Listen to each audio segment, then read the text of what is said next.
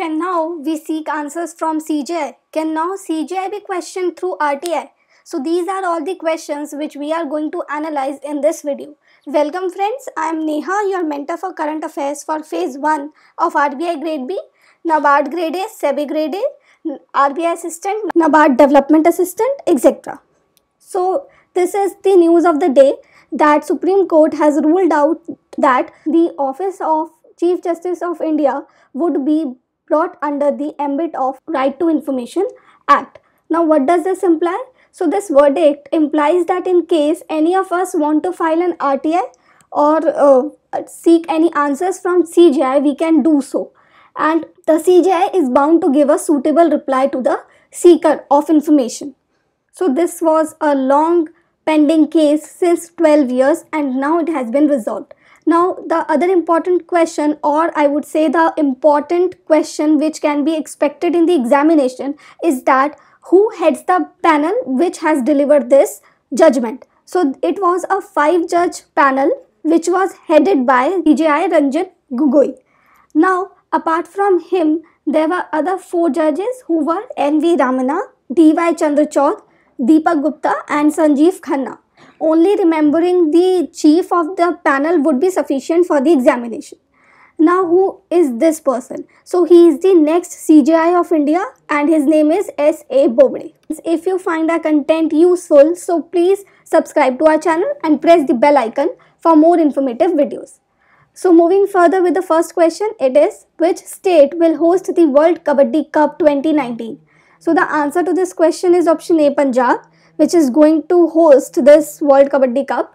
Now a total of 9 teams are going to participate in this Kabaddi Cup and those are from US, India, Australia, New Zealand, Canada, Pakistan, England, Sri Lanka and Kenya.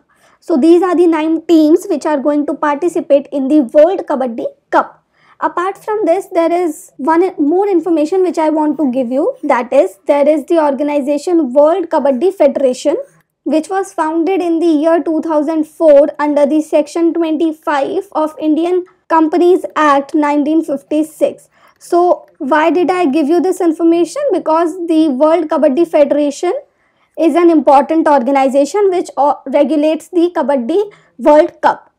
Now the headquarters of this World Kabaddi Federation is in New Delhi. So that was the static information which I provided you here. Now there is one more question to be discussed here that is who is the head of this World Kabaddi Federation. Now that is the question for you guys. You have to tell me that who heads this federation the comment section below.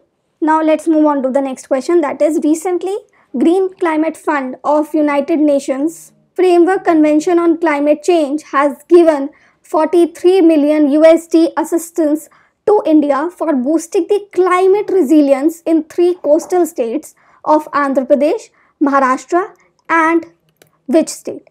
So the answer to this question is option E, Odisha. Now apart from this assistance, India is going to contribute USD 86.8 million towards developing the climate resilient infrastructure in these three coastal states. Now apart from this, there is one question which arises here that what is this Green Climate Fund? So let me tell you friends that this Green Climate Fund was established in the year 2010 as part of the Cancun Agreement.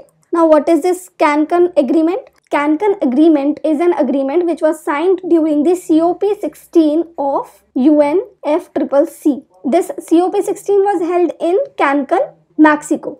That is why the agreements signed during this COP16 are known as Cancun Agreements. Now, as part of this Cancun Agreement, this Green Climate Fund was set up to help the developing countries by providing the financial assistance in developing climate resilient infrastructure or to combat the climate change. So that was all about this Green Climate Fund. Now let me tell you a little bit about this Cancun agreement. So this Cancun agreement aims to provide the technological support apart from the financial support to the developing countries in order to build a climate resilient infrastructure to combat the climate change. So that was all about this information. Now I have one static question for you guys and that is where is the headquarters of United Nations? Quite a simple question. I hope that you all know the answer of this question and would provide it in the comment section below. Next question for today is Who among the following has won the BRICS Young Innovator Prize 2019? So, before telling the before telling you the answer of this question, let me first tell you what this BRICS Young Innovator Prize is. BRICS Young Innovator Prize is a part of BRICS Young Scientist Forum. Or basically, under this Young Scientist Forum, this Innovator Prize is given to boost the morale of young scientists. Now, what is this BRICS Young Scientist Forum? So, in the year 2014, Prime Minister Narendra Modi had proposed to create a Young Scientist Forum platform to boost the morale of young scientists and increase their participation in science and technology. After which, in the year 2015, all the BRICS nations have agreed to create the YSF. So, this platform was created in the year 2015. Now, my question for you guys emerges from this information only. Now, where is the headquarters of BRICS? You have to tell me in the comment section below. Coming back to the question, so the answer to this question is Ravi Prakash. Now he has been given this award for developing a milk chilling unit for small and medium enterprises in rural areas. Now what is this milk chilling unit? Milk chilling unit is the place where the milk is stored in cool temperatures in order to preserve it. Apart from this, one, another, one other important so that was all about the Young Innovator Prize. Now the other information which I want to share here is that the fourth edition of BRICS Young Scientist Forum is going to be held in 2019 Brazil. So now the other information which I want to share is that the fourth edition of BRICS YSF that is Young Scientist Forum is going to be held in Brazil in December. Now what is the theme of this Scientist Forum? So let me tell you that there are two themes of this forum. According to the website of Department of Science and Technology of India, the theme is Build Young Innovation and Entrepreneurship. And according to the Academy of Science of South Africa, that is ASSAF, the theme is Cybersecurity and Bioeconomy. So there is a confusion that what is the exact theme. So I provided you the material which I got from the official websites. So next time do not get confused about these two themes. Now friends we have a telegram channel and group as well where you can join from the link given in the description below. We also provide free material, free PDFs on our telegram channel. So in case you want the uh, free material you can get yourself enrolled in the telegram channel and group.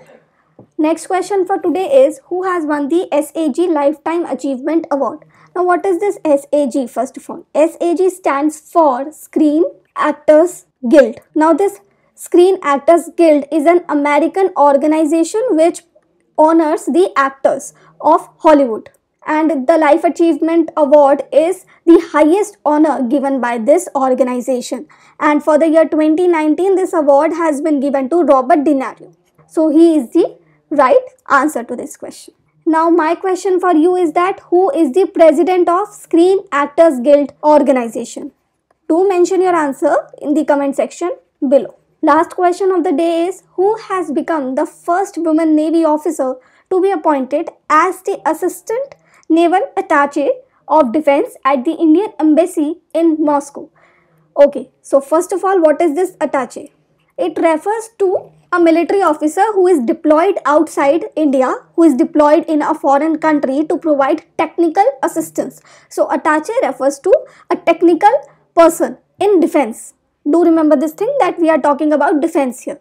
So, the answer to this question is option B, Karabi Gogoi, who has become the first woman Navy officer to be appointed overseas as the naval attache. She is the engineer and has been appointed to provide technical assistance in building ships in the Indian embassy in Moscow. Moscow is the capital of Russia and Vladimir Putin is the president of Russia. Now apart from this, Karabi Gogoi is the second woman in the defense forces of India who has been appointed outside for a diplomatic mission. Now who is the first woman? It is Anjali Singh who has been appointed in Russia only for the diplomatic mission in September. So the detailed news is covered in September Spotlight from where you can read the entire news.